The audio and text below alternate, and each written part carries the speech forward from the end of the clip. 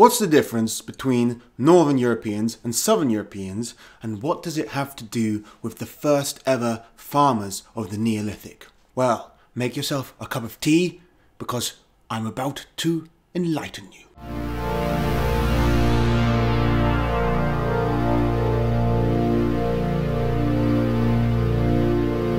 Europe was populated by Western hunter-gatherers for tens of thousands of years. The same exact sort of people were living in much of Turkey as well, Western hunter-gatherers. There were other different types of hunter-gatherers in other parts of uh, Eurasia, and uh, one of the one group of hunter-gatherers that was became particularly important was in the Levant. Around 23,000 years ago, the hunter-gatherers there had started collecting wild emmer wheat just by collecting these little grass seeds, essentially, they started off a process which was to change the human race uh, forever. Because eventually, these hunter gatherers, by about 14,500 years ago, became the first ever farmers in human history.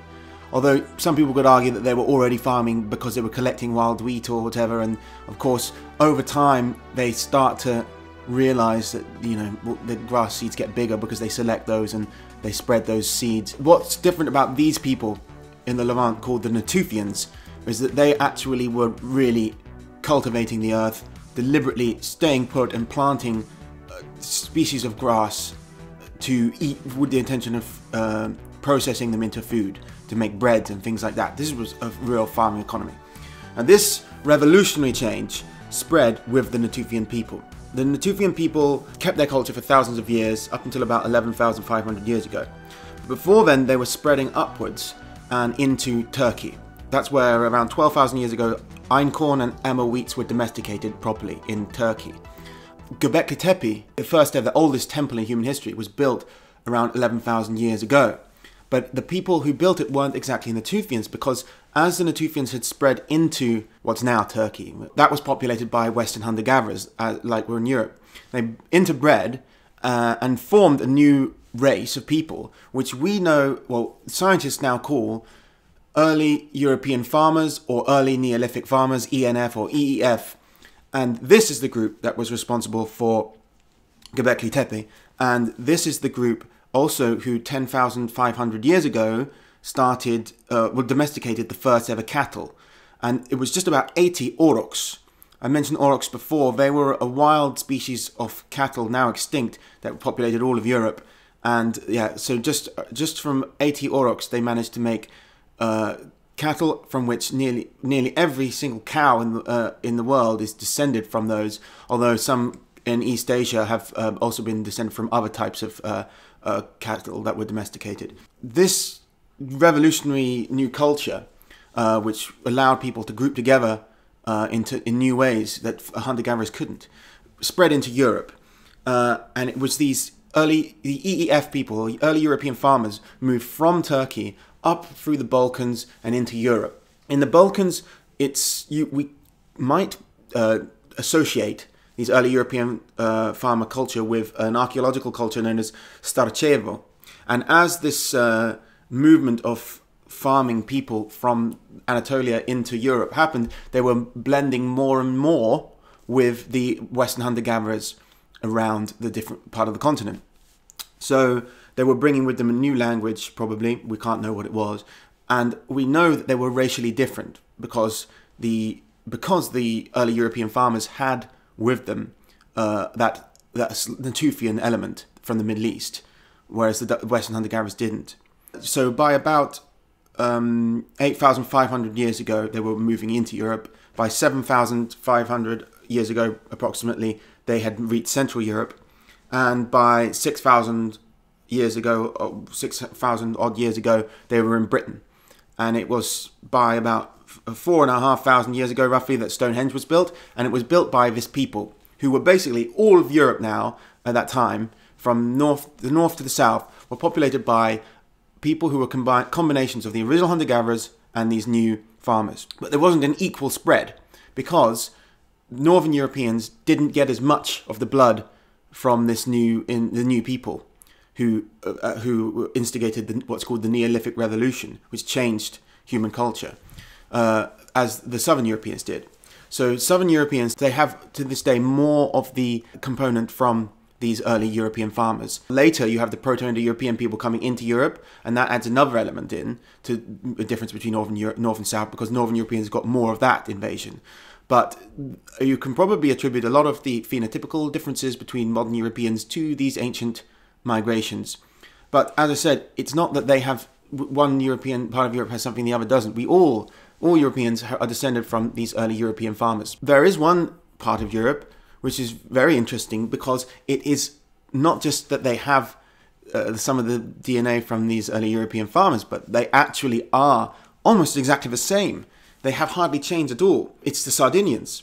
If you look at Sardinians on a principal component analysis chart, which measures the genetic distance between other, uh, certain populations according to their ancient, uh, the, the, proportions of ancient uh, DNA populations within their um, samples from that group, you can see how the Sardinians still cluster in an exact line along that group of ancient Europeans before the Indo European invasions. So you can see Sardinians are exactly between the early European farmers and the Western hunter gatherers. On the left hand side of this triangle are all the populations of Europe prior to the Indo European invasions. The higher up ones represent those who have more of the Western hunter gatherer DNA, and the ones lower down are the original uh, European Neolithic farmers who invaded. So as they got more of that hunter gatherer DNA, they go further up, and as they get into European DNA, they go further to the right. This is a more complex PCA, and you can see here on the right hand side the Natufians. To the left of them is another cluster called the Levantine Neolithic, and then to the left of them you get European people.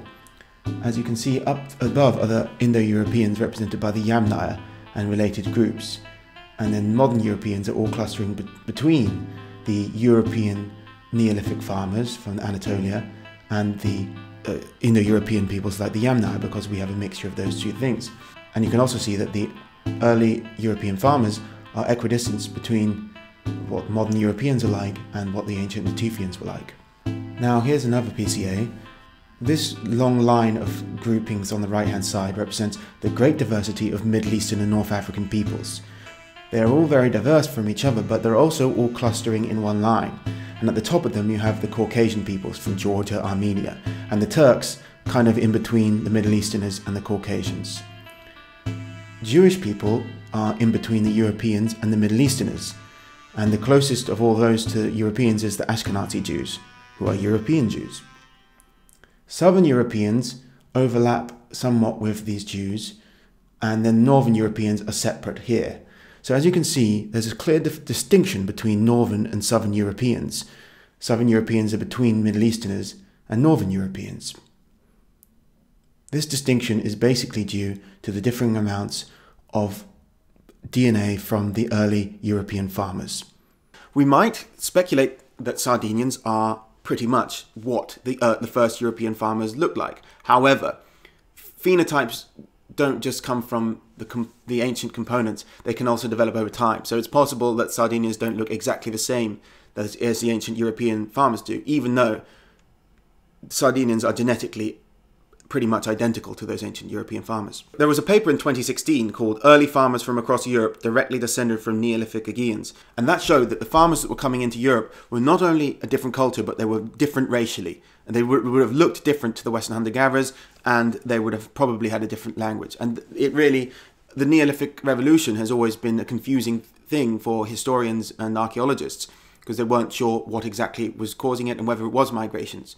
Now we know that the Neolithic is typified by two great migrations into Europe. One was the first one, which I'm talking about now, the early European farmers, and then the other at the end of the Neolithic is the Indo-Europeans. And each of them brought different elements into Europe which changed it. We can say that the European farmers would have brought organized civilizations, societies, such that could build Göbekli Tepe. Pre-Indo-European cultures in Europe, such as the Etruscans and the Minoans had very little um, Indo-European DNA, and also the culture in Britain that had built Stonehenge, demonstrate how advanced the early European farmers were. They obviously farmed cattle and other livestock, and they had great fields of wheat that they they had um, cultivated. The Indo-Europeans simply added a more martial, patriarchal culture later on. I think it's interesting that Sardinia is so unique in Europe that it's preserved this pre-Indo-European gene pool of Europeans, and also Sardinian culture is so quite wonderful because they have all these seemingly old pagan kind of customs and these beautiful style of singing that they use, which is a type of throat singing which people associate with Mongolians, but it shows that it must have been very ancient in Europe as well.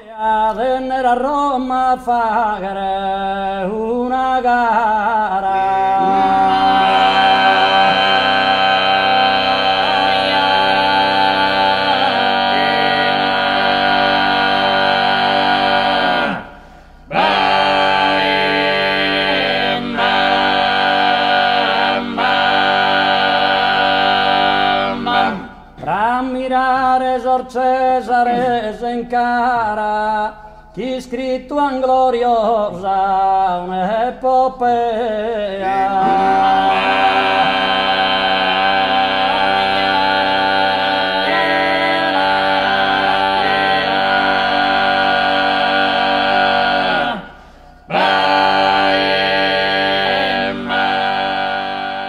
And you also see these beautiful folk costumes in Sardinia, and the people themselves we can look at them and think, what all Europeans, we have something like this in us. Now, some of us, such as Spanish and Italians, look a lot more like these Sardinians than others do. while we in Northern Europe look different because we have other genetic components, we also have to remember that we're partly that and we're partly something else. But some people think that I don't like Southern Europeans for some reason, which is odd because I've never said that, and that I don't think that they're as good as culturally, but I don't think that either.